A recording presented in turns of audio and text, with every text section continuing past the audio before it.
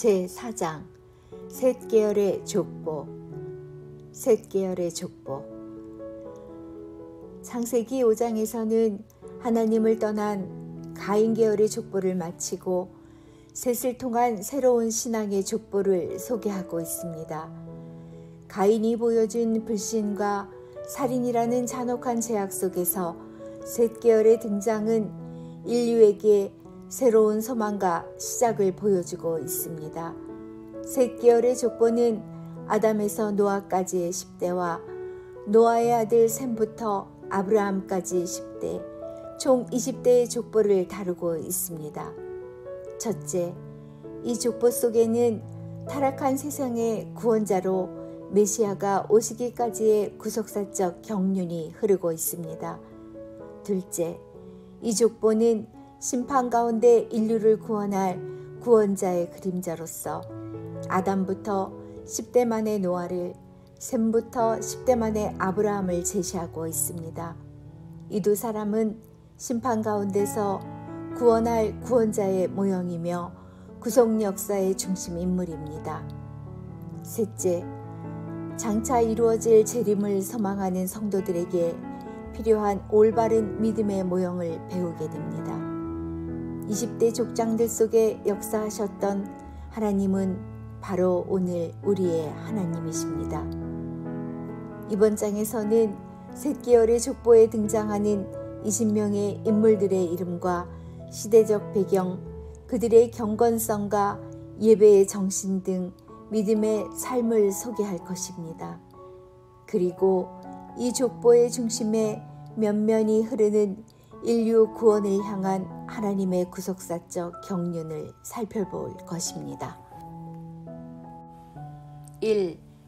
아담에서 노아까지의 족보 이제부터 살펴볼 아담부터 노아에 이르는 10대의 역사에는 인류의 창조와 타락, 심판과 회복이라는 일정한 주기가 두 번 반복되고 있습니다. 아담의 타락과 에덴에서의 추방, 가인의 살인으로 인한 아벨의 죽음 등 인류의 범죄와 심판이 셋을 통해 회복된 것이 그 첫 번째입니다. 두 번째는 하나님의 아들들과 사람의 딸들의 범죄로 인해 죄악이 관영한 세대를 하나님이 홍수로 심판하셨으나 인류의 제2조상으로 노아를 세워 새로운 역사를 회복한 경우입니다. 아담에서 노아까지의 족보 가운데 가장 중요한 인물은 에녹입니다. 가인의 족보에서 아담의 7대손 라멕은 그 행적이 비교적 자세하게 기록된 중요한 인물이었습니다. 마찬가지로 세세 족보 역시 아담의 7대손인 에녹을 중요한 인물로 강조하고 있습니다. 에녹은 아담과 308년 동안 동시대에 살면서 아담이 전하여 준 하나님의 말씀을 그대로 믿음으로써 죽음으로 끝나는 인류의 운명을 깨고 하나님과 동행하여 지처로 죽지 아니하고 승천한 인물이었습니다. 아담에서 노아까지의 족보에서 특별한 부가 설명이 없는 족장들은 게난, 마할랄렐, 야렛, 무드셀라입니다. 비록 이들의 삶에 대한 특별한 설명이 성경에는 없지만 이들이 장수한 것으로 보아 분명 신앙적이고 경건한 삶을 살았을 것으로 추정됩니다. 진구약 성경은 장수를 경건한 신앙과 관련된 하나님의 특별하신 복으로 수없이 말씀하고 있습니다. 잠언 3장 1, 2절에서는 내 아들아 나의 법을 잊어버리지 말고 내 마음으로 나의 명령을 지키라. 그리하면 그것이 너로 장수하여 많은 해를 누리게 하며 평강을 더하게 하리라고 말씀하고 있습니다. 그러나 악한 자는 그 수명을 반으로 짧게 줄이신다고 말씀하고 있습니다.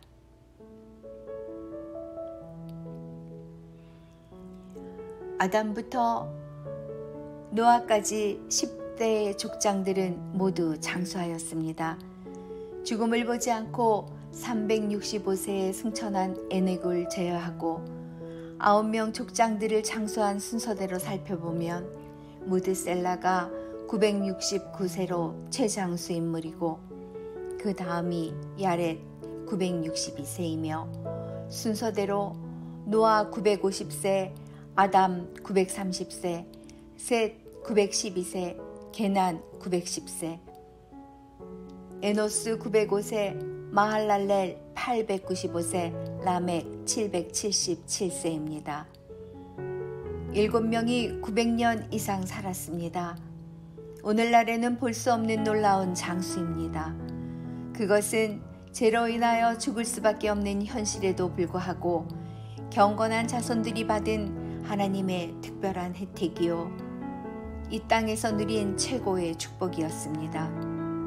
이에 대하여 김 의원 박사는 그에 져서 하늘과 땅 그리고 족장들의 톨레도 돼서 장수의 복은 가인의 후예와는 달리 세세 후예들에게 주어진 하나님의 특별하신 복으로 보아야 한다고 하였습니다.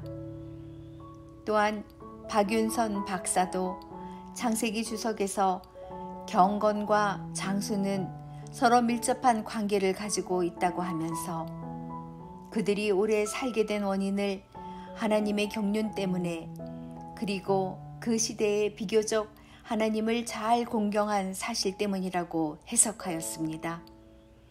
지금부터 창세기 5장에 나오는 독특한 족보 형식과 10명의 인물들의 삶과 생애, 그리고 그들의 이름 속에 깃들인 영적 의미를 상고하는 가운데 하나님의 구속 섭리와 경륜을 함께 헤아려 보도록 하겠습니다.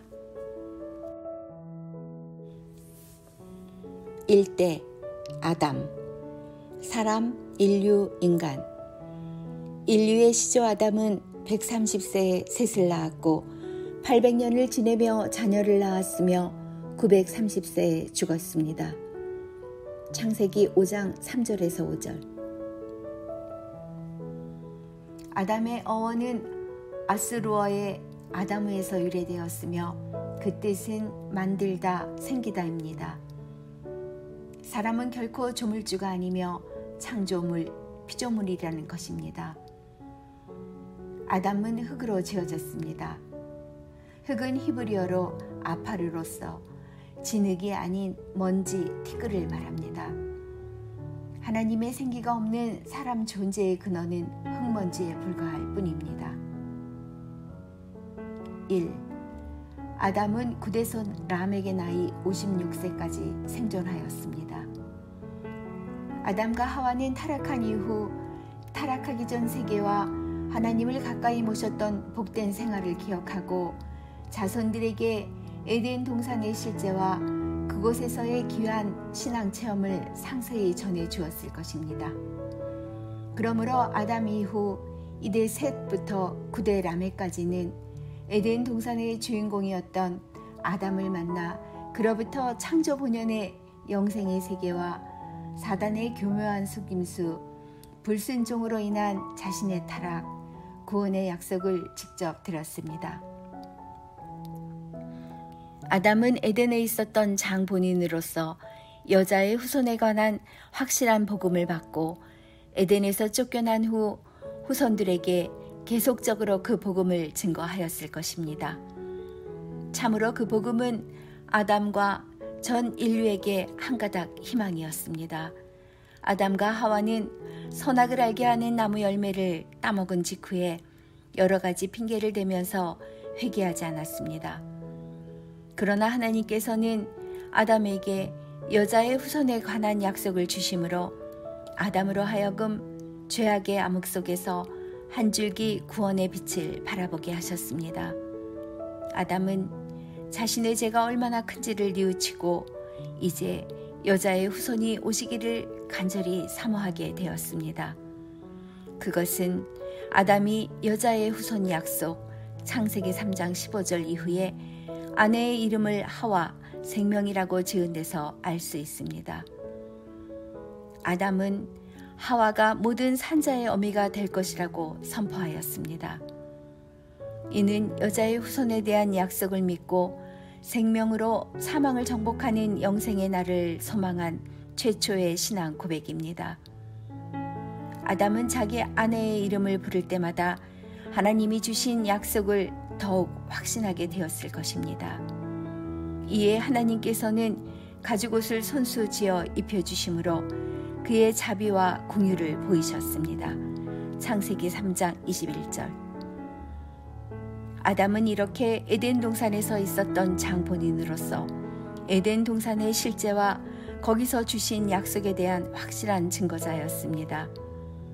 또한 에덴에서 추방되기 전 하나님이 직접 입혀주셨던 가죽옷은 창세기 3장 15절에 언약을 보증해주는 증표였습니다.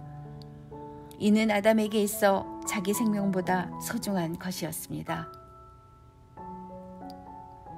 가죽옷을 지어 입히심은 희생을 통한 구원의 원리를 보여준 것이며 앞으로 타락한 인류의 구원이 어떻게 이루어질 것인가를 암시한 것입니다. 왜냐하면 가죽옷을 마련하기 위해서는 반드시 한 생명의 희생이 있어야 하기 때문입니다. 이것은 장차 있을 예수 그리스도의 십자가의 희생을 예표합니다. 아담은 약속의 보장으로 주신 가죽옷을 평생 간직하면서 약속의 후손이 오셔서 반드시 뱀의 머리를 상하게 할 날이 오리라 확신했고 그것을 그 자손들에게 교육하고 전수하였을 것입니다.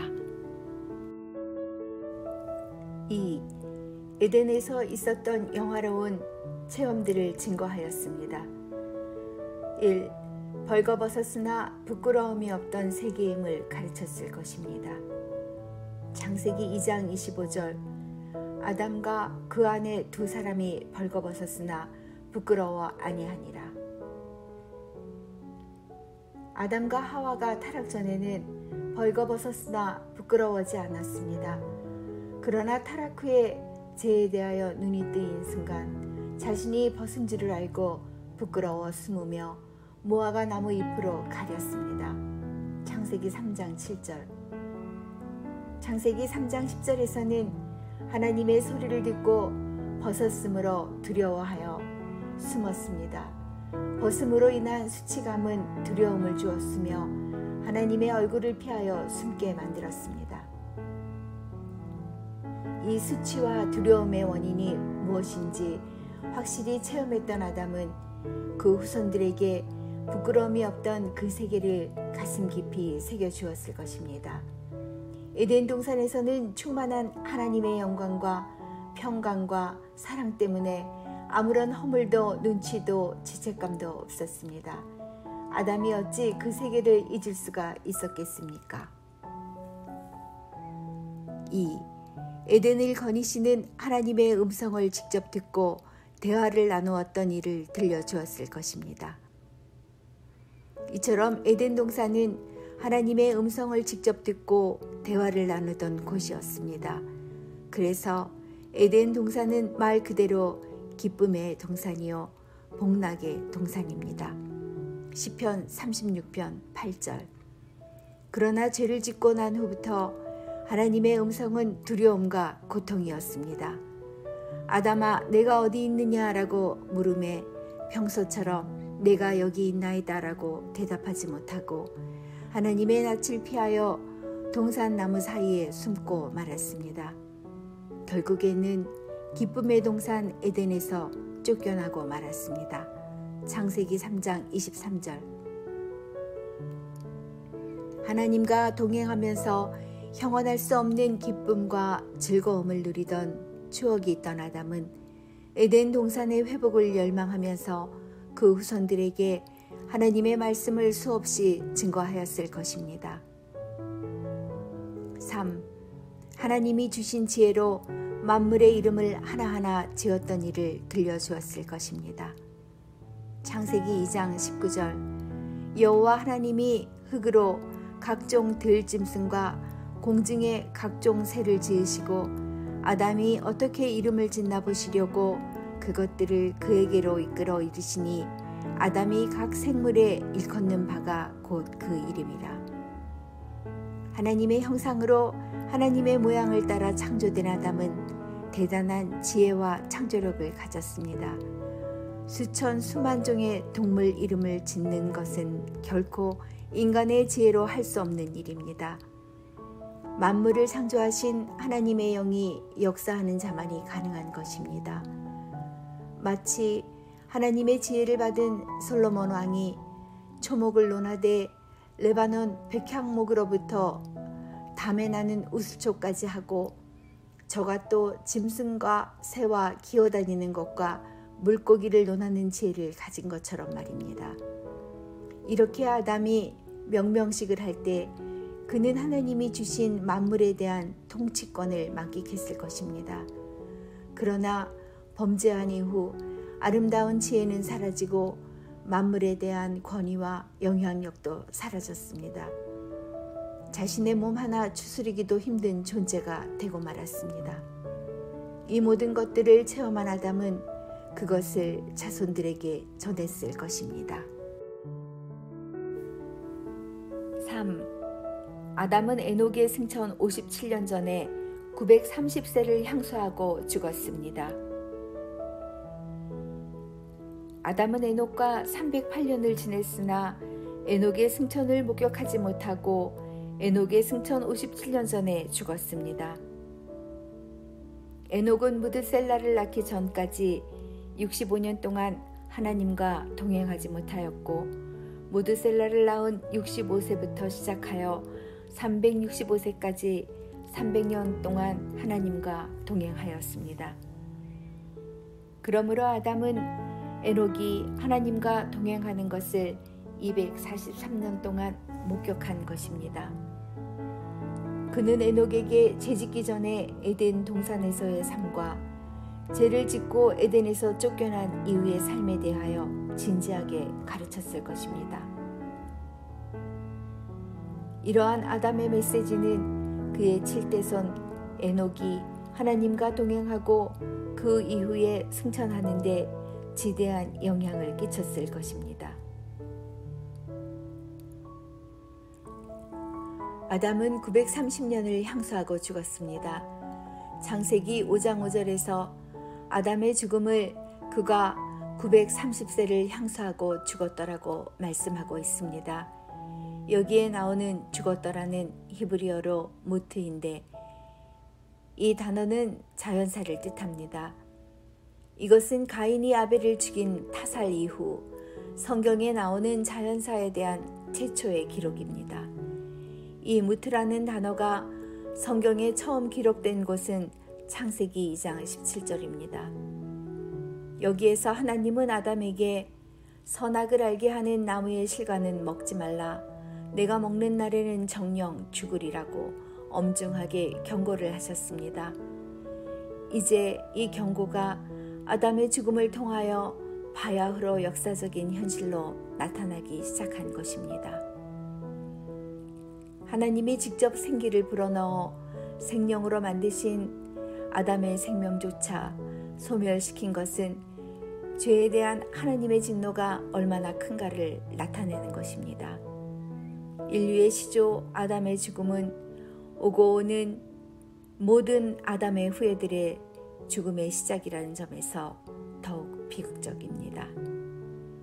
그러나 놀라운 사실은 아담의 죽음에도 불구하고 그의 후손을 통하여 생명이 이어지고 있는 것입니다.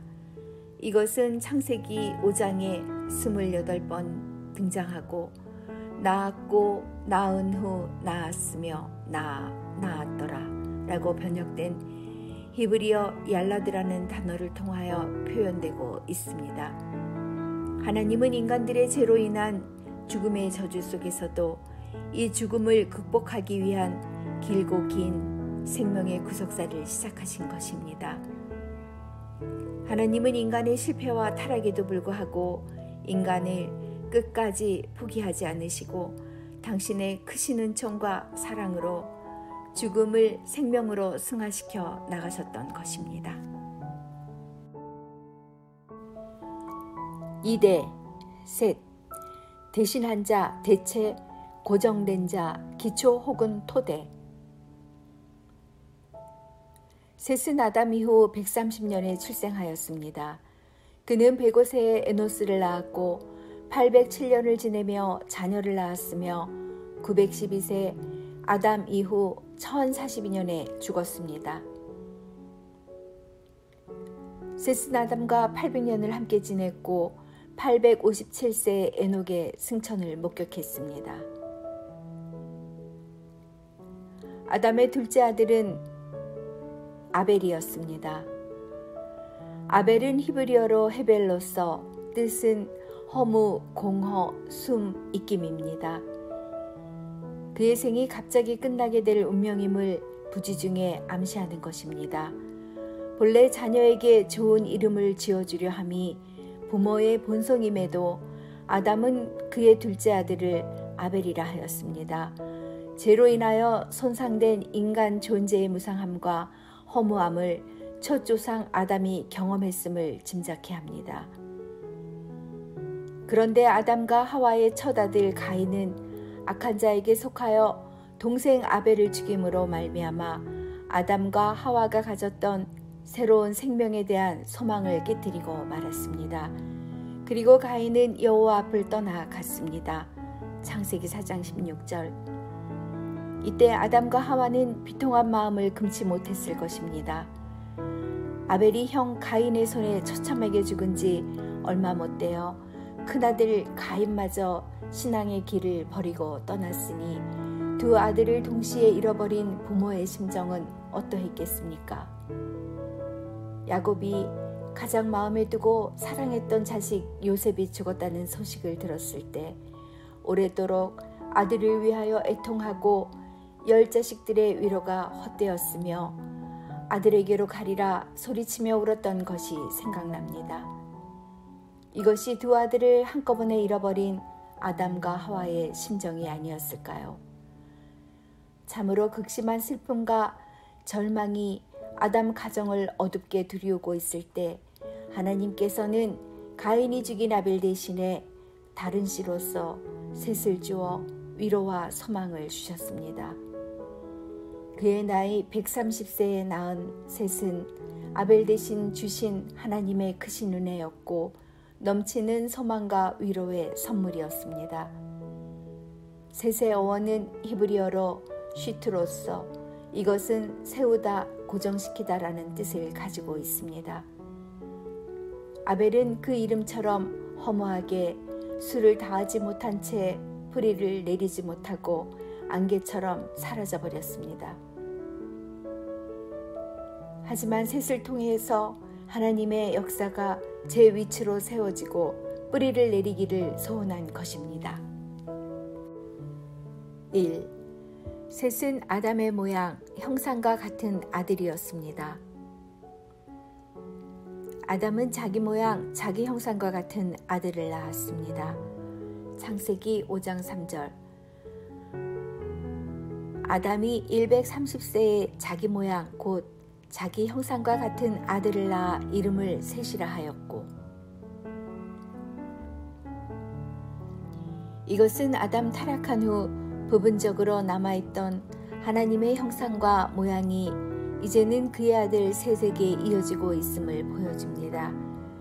창세기 5장 3절은 셋을 아담의 모양, 형상과 같은 아들이라고 말씀하시므로 여자의 후손 약속을 받은 아담의 회복되어 가는 신앙이 셋에게 이어지고 있음을 보여주고 있습니다. 아버지 아담의 형상을 가지고 있는 아들은 가인이 아니라 셋이라는 것입니다. 하나님의 약속은 셋 계열에게 주어졌지 가인 계열에게 주어지지 않았습니다. 이는 타락에도 불구하고 아담에게 주셨던 하나님의 생명, 기본적인 하나님의 형상이 비록 완전하지는 않지만 셋에게 지속적으로 이어지고 있음을 보여줍니다.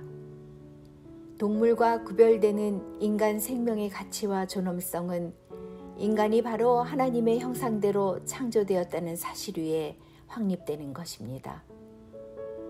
아담의 타락에도 불구하고 하나님의 형상은 비록 온전한 모습은 아닐지라도 계속 이어졌던 것입니다. 2. 셋은 하나님이 주신 다른 씨였습니다. 창세기 4장 25절. 가인의 후손들이 계속적으로 살인과 거짓으로 온 세상을 어둡게 하는 동안 아담은 하나님이 구속사적 목적 가운데 다른 씨를 주셨음을 깨닫고 감사하면서 그 이름을 셋이라 하였습니다. 아담은 새끼어를 통해 약속하신 구세주가 오시는 길이 열릴 것을 염원하고 확신했던 것입니다. 뼈아픈 눈물과 슬픔 속에 엉망진창이 되어버린 아담 가족이 셋으로 말미암아 제거된 것은 다른 씨를 주셔서라도 반드시 여자의 후손이 나도록 하시려는 하나님의 열심의 흔적입니다. 이렇게 인류를 구속하시려는 하나님의 섭리는 멈추지 않고 흘러 흘러 마침내 마리아의 몸에서 예수 그리스도가 나셨습니다. 갈라디아서 4장 4절 예수 그리스도는 인간 요셉의 씨가 아니고 성령으로 잉태된 다른 씨였습니다.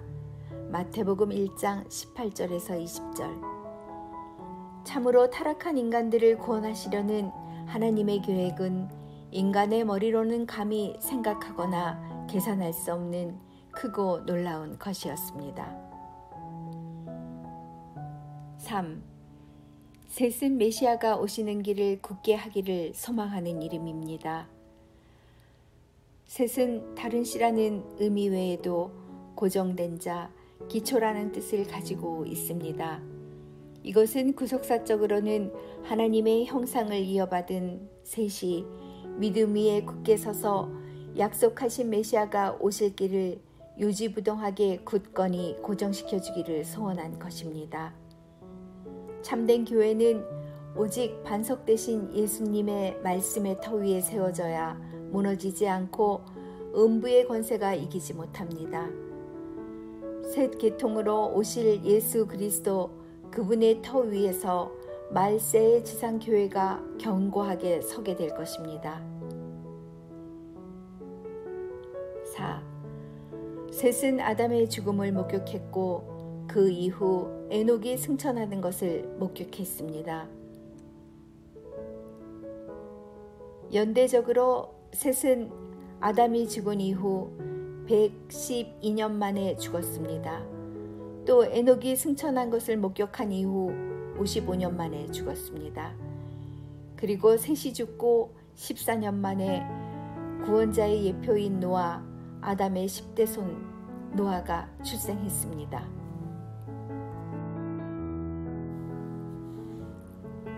(3대) 에노스 아담 사람 연약한 사람 죽을 수밖에 없는 에노스는 셋이 105세에 낳은 아들로 아담 이후 235년에 출생하였습니다. 에노스는 90세에 개난을 낳고 815년간 자녀를 낳았으며 905세에 죽었습니다. 에노스는 아담과 695년을 노아와는 84년을 함께 지냈으며 그의 나이 752세에 에녹의 승천을 목격하였습니다. 에노스의 어원은 히브리어로 아나시로서 깨지기 쉽다, 약하다라는 뜻입니다. 에노스는 인간이 전적으로 무력한 존재임을 의미합니다. 참으로 그것은 숙명적인 연약성입니다. 이것은 치료가 거의 불가능한 상태와 병들어 고통 가운데서 신음하는 죄악된 인류의 한계 상황을 나타냅니다. 에노스의 아버지 셋은 아담 타락 이후 거세게 밀려오는 죄악의 물결로 말미암아 이제 여호와를 찾지 않고서는 죄의 유혹을 도저히 이기며 살 수 없는 무력한 존재임을 절실하게 인식한 것입니다. 그래서 아들의 이름을 그의 신앙 고백을 조차 에노스라고 짓게 된 것입니다. 아담과 같이 에노스는 고유 명사로 사용될 수도 있고 사람을 가리키는 일반 명사로도 사용될 수 있습니다. 에노스 그 이름은 아담이 타락한 이후 비로소 하나님의 이름을 부르기 시작했던 셋의 입에서 나온 신앙 고백이었습니다. 우리는 그 이름을 통해 당시 시대상을 어느 정도 예측할 수 있습니다. 1. 에노스 시대의 사람들이 비로소 여호와의 이름을 불렀습니다. 성경은 셋이 자기 아들을 낳고 에노스라고 이름 지은 동기에 대하여 그때에 비로소 여호와의 이름을 불렀기 때문이라고 소개하고 있습니다. 창세기 4장 26절 셋도 아들을 낳고 그 이름을 에노스라 하였으며 그때에 사람들이 비로소 여호와의 이름을 불렀더라. 이름을 불렀다는 것은 하나님과 인격적인 관계가 시작되었음을 강조하는 것입니다. 인간 관계에서도 서로 간의 직함이나 계급으로 부르지 않고 직접 이름을 부른다는 것은 그만큼 그 둘이 친숙하고 가까운 사이임을 의미합니다. 특별히 성경에서는 인간이 하나님의 이름을 부르는 것을 구원과 직결되는 중대한 문제로 말씀하고 있습니다. 사도행전 2장 21절 누구든지 주의 이름을 부르는 자는 구원을 얻으리라 하였느니라. 로마서 10장 13절 누구든지 주의 이름을 부르는 자는 구원을 얻으리라. 그러므로 여호와 이름을 부르기 시작했다는 것은 하나님과 인간 사이에 적극적인 사귐이 시작된 것을 의미합니다. 여기 부르다 카라는 선포하다 크게 외치다라는 뜻으로 여호와의 이름을 멀리까지 알린 것을 뜻합니다. 에노스 시대에 참 예배자가 확립되고 바르게 세워짐으로 몇몇 사람만이 아니라 많은 사람들에게 복음이 전파되고 알려지기를 시작했음을 추정할 수 있습니다. 2. 에노스 시대의 하나님을 믿는 바른 의식, 예배 생활이 시작되었습니다. 창세기 4장 26절에서 여호와의 이름을 불렀다는 말은 쉽게 말해 공식적인 예배가 시작되었다는 뜻입니다. 창세기 4장 26절을 세번역 성경은 셋도 아들을 낳고 아이의 이름을 에노스라고 하였다. 그때에 비로소 사람들이 주님의 이름을 불러 예배하기 시작하였다라고 하였습니다. 이것은 아담 타락 이후 235년 만에 처음 드린 제사를 뜻하는 것은 아닙니다. 가인과 아벨도 제사를 드린 것으로 보아 이미 제사 드린 지는 오래되었습니다. 따라서 비로소 여호와의 이름을 불렀다는 뜻은 하나님을 올바르게 섬기기 위한 규칙적인 예배 생활을 말합니다. 신학자들은 에노스 시대에 대하여 하나님의 임재를 갈망하는 예배의 근본적인 정신과 자세가 확립된 때라고 말하고 있습니다. 이것은 내 의지를 버리고 하나님의 통치를 100% 수용하겠다는 자세이며 또한 당시 편말한 죄악으로 말미암은 한계 상황에서 속히 구원해 주기를 호소하는 자세입니다. 가인의 후손들이 교만하여 스스로의 힘으로 모든 것을 해결하려고 세속 문화에 심취하고 있을 때 경건한 세세 후손들은 하나님 앞에 겸손히 나아가 그분과 교제하는 예배 생활을 세워나갔습니다. 3. 에노스는 스스로 구원하기에 무능하고 나약한 전 인류를 예표합니다.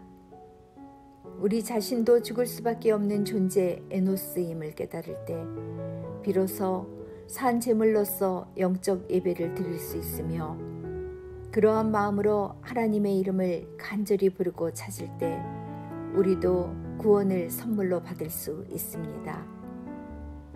사도 바울은 오호라 나는 공고한 사람이로다라며 자신의 힘으로는 사망을 이길 수 없는 에노스적인 존재임을 깨달은 후 로마서 8장 1, 2절에서 죄와 사망의 법에서 너를 해방하였음이라고 고백하였습니다. 또한 사도 바울은 내 은혜가 내게 족하도다 이는 내 능력이 약한 데서 온전하여짐이라 는 음성을 듣고 도리어 자신의 약함을 크게 기뻐하고 그 약한 것들을 자랑하겠다고 하였습니다. 이것은 약함 속에서 하나님의 이름을 부를 때 비로소 그리스도의 능력이 머물 수 있다는 깊은 진리를 터득하였기 때문입니다.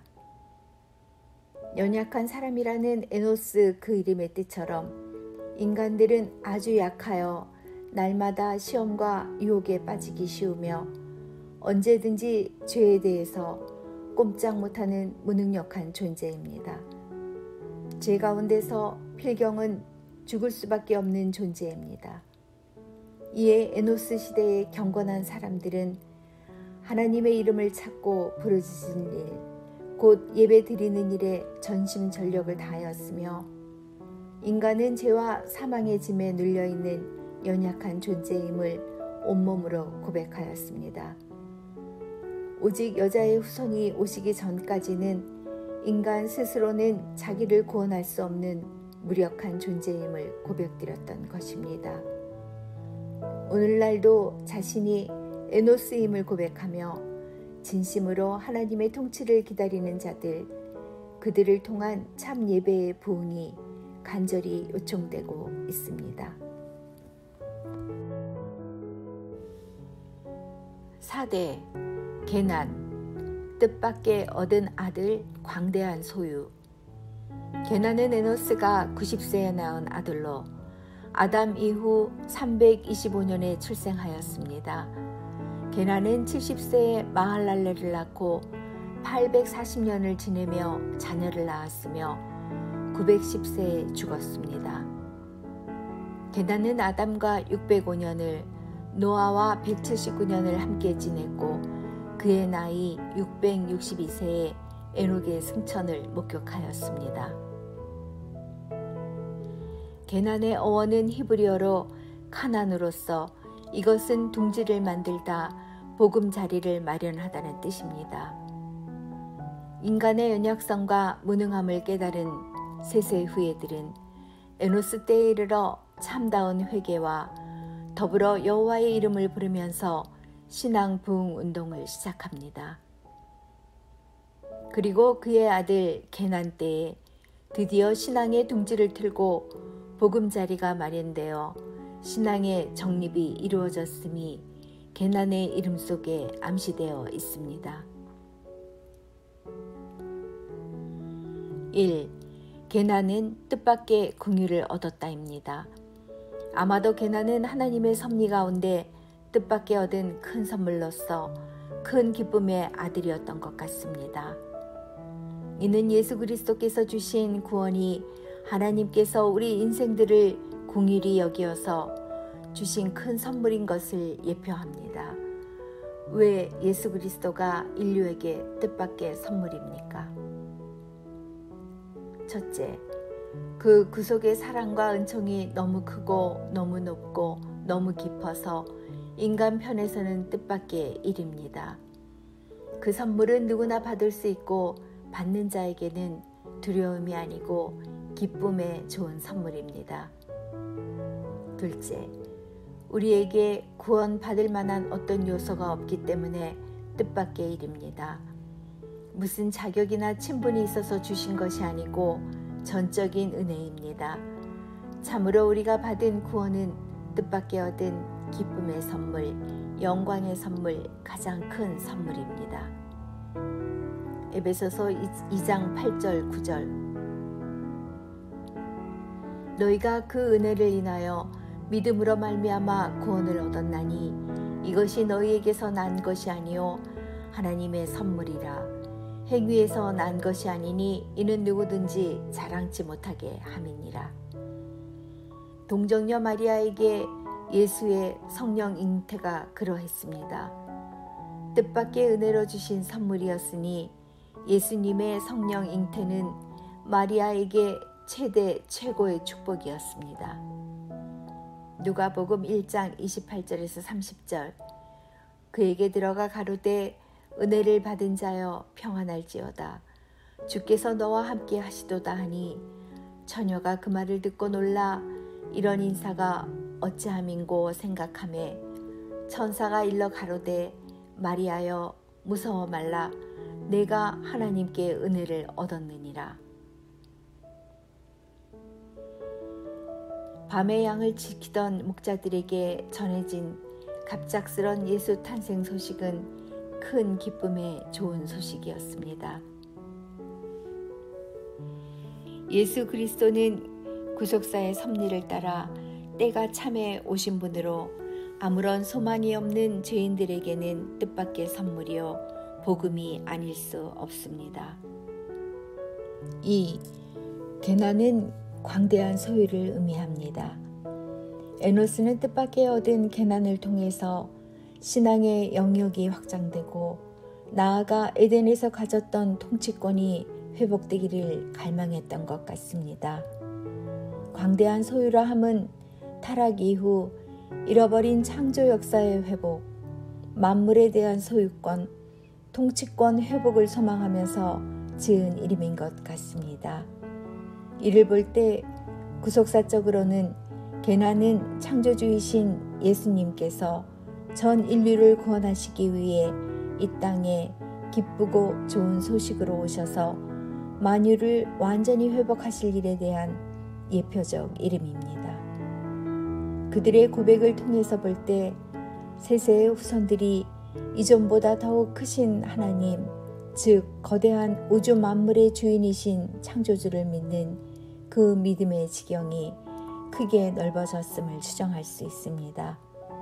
오늘 우리도 땅을 정복하라는 하나님의 명령과 너희는 가서 모든 족속으로 제자를 삼아라는 예수 그리스도의 명령을 따라 복음으로 세상을 정복하여 이 땅을 하나님의 광대한 소유로 만들어 나가야 할 것입니다.